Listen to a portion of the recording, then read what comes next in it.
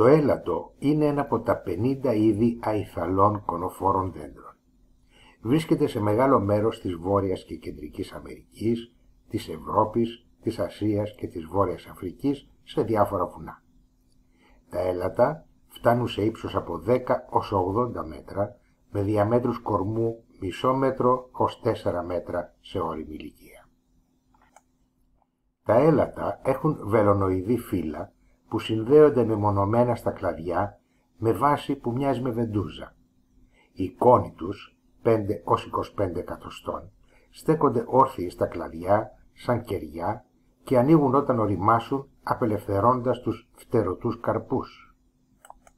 Στη φωτογραφία ένας σπόρος με φτερό μήκους 2,5 εκατοστών.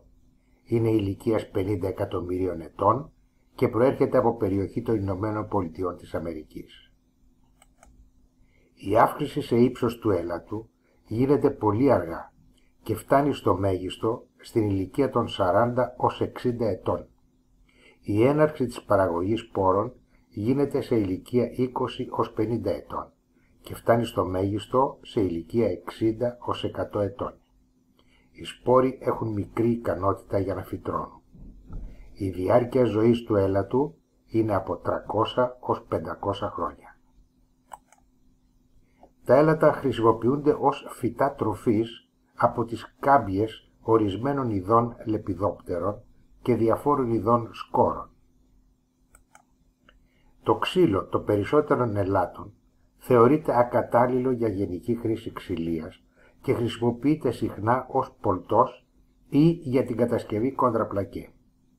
Επειδή το έλατο δεν έχει ιδιότητες αντοχής σε έντομα ή σύψη μετά την υλοτόμηση, συνιστάται γενικά για κατασκευαστικούς σκοπούς μόνο για χρήση σε εσωτερικούς χώρους. Τα ξύλα από έλατα που μένουν έξω δεν αναμένεται να διαρκέσουν περισσότερο από 12 ως 18 μήνες ανάλογα με τον τύπο του κλίματος στον οποίο εκτείνεται. Στη φωτογραφία βλέπουμε το οικόσιμο μιας περιοχής της Φιλανδίας που έχει πολλά έλατα, το οποίο παρουσιάζει μια καρδιά με ένα κλαδί έλατου στο επάνω μέρος. Το έλατο χρησιμοποιείται για τη γιορτή των Χριστουγέννων. Στα κλαδάκια του κρέμονται διάφορα διακοσμητικά και τοποθετούνται μικρά φώτα σαν κεριά. Κάτω από το χριστουγεννιάτικο δέντρο μπαίνουν τα δώρα για τα μέλη της οικογένειας και τους στενούς φίλους που θα προσκληθούν το βράδυ. Ο συμβολικός στολισμός του χριστουγεννιάτικου δέντρου είναι μια δυτική παράδοση που ήρθε για πρώτη φορά στην Ελλάδα με τον Βαβαρό βασιλιά Όθωνα το 1833.